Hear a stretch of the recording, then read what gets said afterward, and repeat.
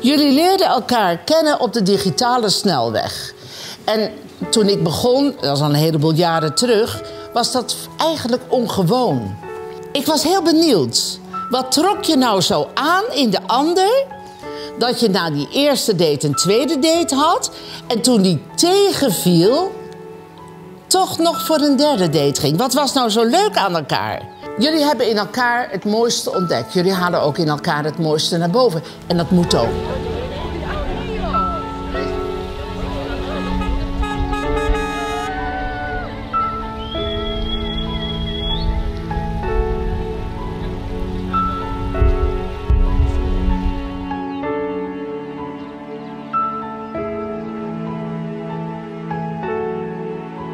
De toekomst ligt voor ons. En wat er ook komt, ik kan het aan. Samen met jou.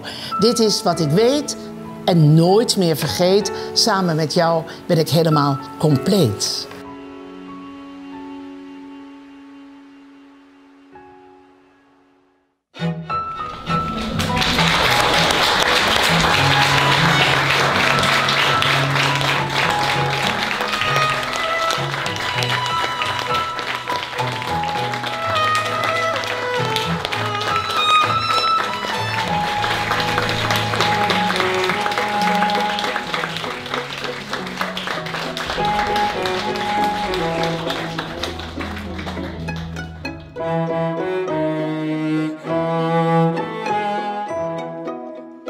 Nou, jullie weten precies de mooiste eigenschap van de ander te noemen. Jij zei, bruidegom, over je bruid... ik ken niemand die attenter is dan Mirjam. Is dat zo, lieve mensen? Ja. Van jou, bruidegom, zegt je bruid... zijn nuchtere kijk op dingen. Hij is een type van doe maar normaal, niet te veel poespas.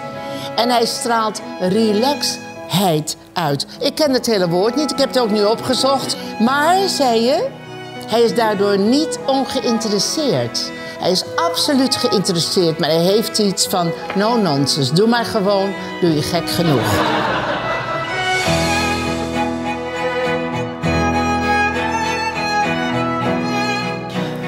Wouter Jan Brechtman. Neem je aan tot je wettige echtgenote Mirjam van der Steen.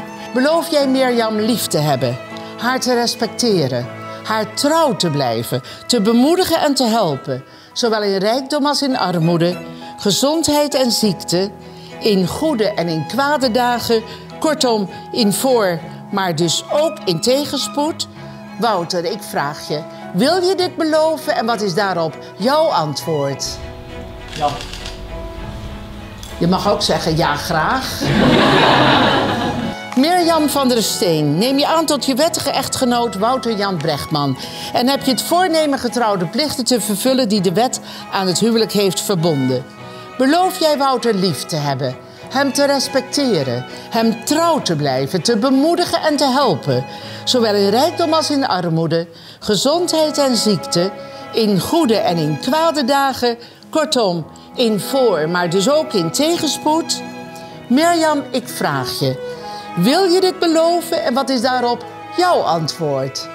Jazeker. Geef elkaar nog even gauw een kusje nu, kleintje. Dit is de laatste als vriend en vriendin. Dan verklaar ik als ambtenaar van de burgerlijke stand van de gemeente Katwijk dat in naam der wet het huwelijk tussen Wouter en Mirjam is voltrokken.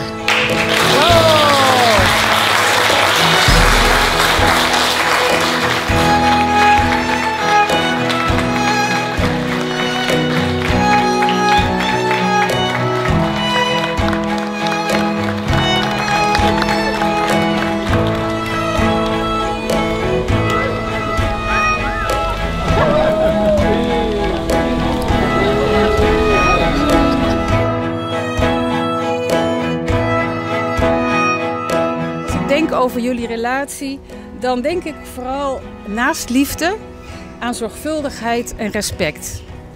Ik zie hoe jullie steeds in de gaten hebben hoe het met de ander is. Met een klein gebaar of een ondersteunende blik. En die zorgvuldigheid die jullie voor elkaar hebben, die hebben jullie ook voor de mensen om je heen. Met belangstelling voor anderen, een helpende hand of een attentie. Dan denk ik, grote harten kunnen veel delen. En jullie hebben allebei een heel groot hart.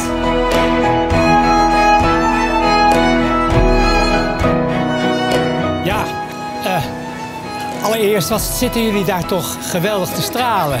Ja, moet je eens even kijken. Dat is toch een geweldig gezicht. Dat is alleen al eh, zo'n geluk dat, dat, zo, dat je dat zo kan zien. En eh, ja, alles is eigenlijk al gezegd. eh, hoe jullie naar deze dag hebben toegeleefd. En eigenlijk wil ik proosten op jullie prachtige huwelijksreis in Canada. En dat dat een hele mooie reis wil- moet worden. En op een- de warme band tussen onze families. Proost.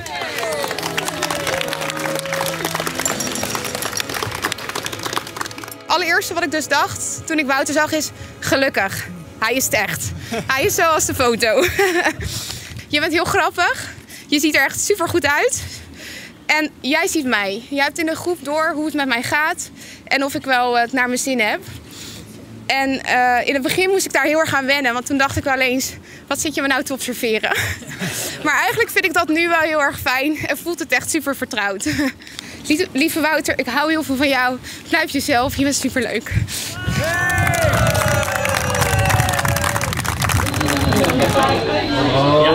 Samen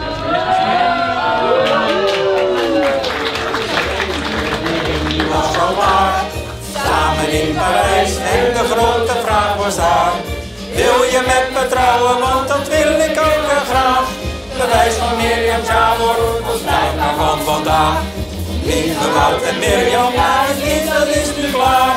Het beste wat te zeggen wil, geluk nu met elkaar.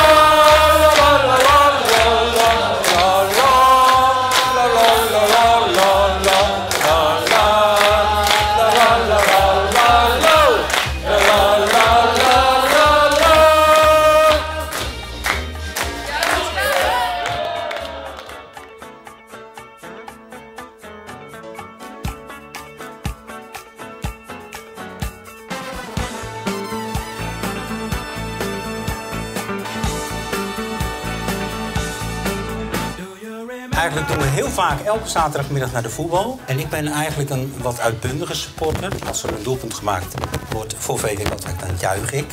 Als er een gele kaart ehm, gegeven wordt, dan betuig ik mijn eh, deelneming daaraan. Of ik ga protesteren en onze Wout zegt dan... Pap, doe even normaal. Sta niet als een idioot te schreeuwen. En eh, ondergaat het allemaal wat stoïcijns. Ik denk wel dat hij blij is als het goed gaat, maar hij laat het niet zo merken. Tot een keer in 2017. En toen ik zei, joh Wout, ga je mee naar de voetbal? Hij zegt, nee, nee, ik, eh, ik kan niet. Ik kan niet. Nee, ik heb een eh, afspraak. Een afspraak met een dame. Een dame? Vraag niet verder. Je hoort het allemaal nog. Nou, de rest is u alle bekend. We zitten hier. Dus van het een kwam het ander. We zijn blij dat we deze dag eh, mogen meemaken. We wensen jullie veel zegen toe van onze goede God. En weet dat de deur van de Mars 7 altijd open is.